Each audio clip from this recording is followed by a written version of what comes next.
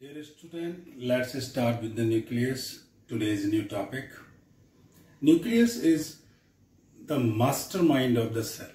You can say the control central of the cell. Okay. Nucleus was discovered by Robert Brown, while the cell was discovered by Robert Hooke. So let's discuss the uh, structure of the nucleus. Nucleus is double membrane, double layered cell organelle. Let's see.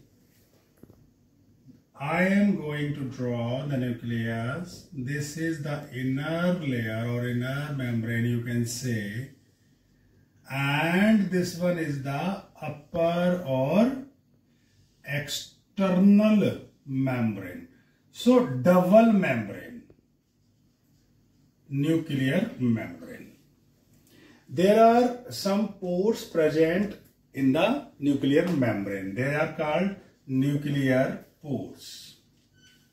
From the outer membrane, there was an extension of finger-like structures that is known as the endoplasmic reticulum.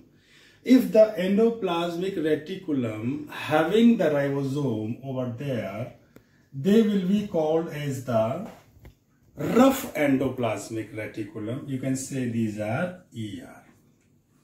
Inside the nucleus, there is a network of chromatins that is called chromatin network or nuclear reticulum and this is the chromatin network. Inside the nucleus, there is a rounded structure without the membrane is called nucleolus. Involved in the protein synthesis as well. And there is a matrix in the nucleus that is called nucleoplasm. So student, the chromatin has its own importance.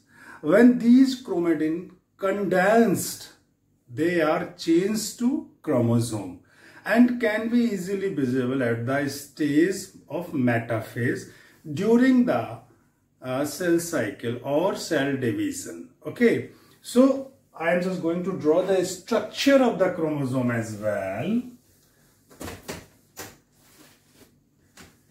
The chromosome, this is the chromosome having two arms over there and the centromere in between of them.